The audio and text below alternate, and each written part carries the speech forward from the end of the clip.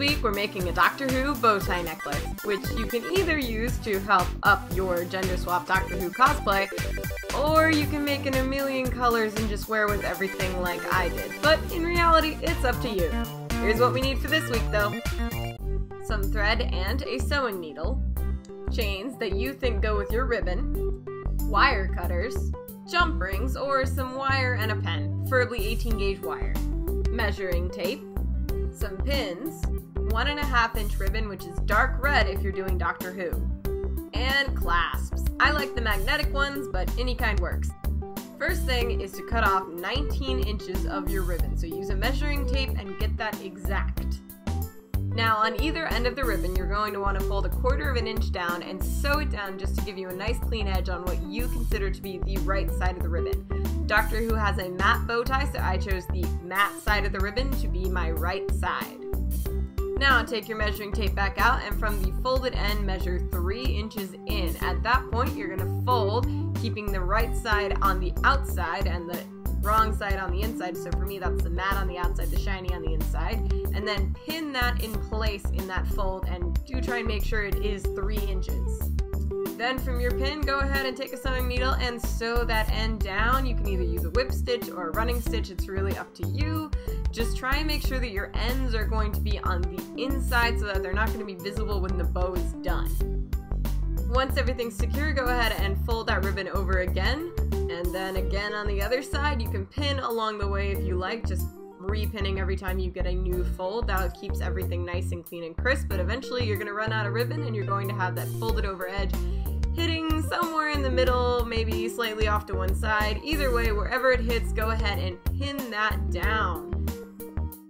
Then just go ahead and take your sewing needle and sew that end down. This one I do recommend using a whip stitch for just because you can better control how many layers you're going through and you really only want to go through enough layers to secure the ends down and so that no stitches are going to be visible on the front. Then you're going to want to fold your little packet in half pretty hard to get a good crease so that you know where you're going. And then once you have a crease, you're going to want to fold it forward. So fold it in on itself, again keeping track of where that middle is, and then take those ends that you have facing up and fold them back, keeping the original fold still in place. So it's kind of like you're making an M in the middle of the bow tie using the fabric. Once everything's nice and secure and you like how the creases look, go ahead and take your sewing needle and sew through it a couple of times to keep it really secure. You do not want this coming out so really make sure it is secure and make sure it is centered. Then you're going to want to take a piece of ribbon about 6 inches long and fold it in half the long way and then run a stitch across the top just to keep it really secure.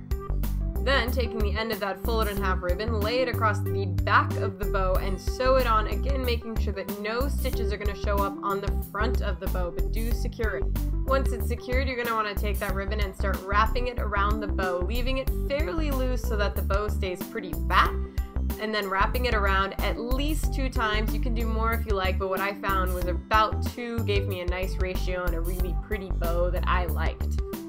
Once you've gone around twice, go ahead and clip it off and fold a little bit under itself and then sew a whip stitch across the surface of the bow. Again, making sure no stitches should be anywhere near the front. Briefly admire your handiwork before flipping it over and attaching the chain. You're going to do this by sewing it onto the back near the edge on either end. Make sure to keep the chain even and do stitch it on quite a few times to make sure it's not going anywhere. You're to want each length of chain to be about 8 inches. I measure once I've already sewn on and then just go ahead and clip it off. Repeat for the other side and then go ahead and add your clasp by throwing a clasp on a jump ring and then throwing the chain onto the same jump ring. Now you're want to check the fit. For me, I ended up taking off about an inch, but it's to depend on your neck. Once you like the fit, go ahead and rock your new Doctor Who bow tie or make a black one with a silver chain to dress up a black tie party or just automatically cutify anything you own.